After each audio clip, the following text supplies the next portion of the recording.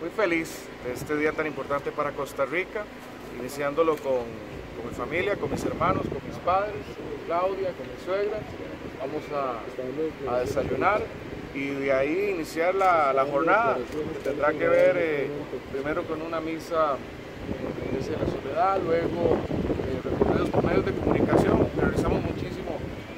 Medios de comunicación durante todo el día, llamando a la gente a ir a votar, ir a votar si pueden desde ya, es importantísimo y es ese gran derecho que tenemos los costarricenses. Eh, y bueno, ese será el recorrido del día. Como les digo, muy contento, muy optimista, eh, orgulloso de ser costarricense.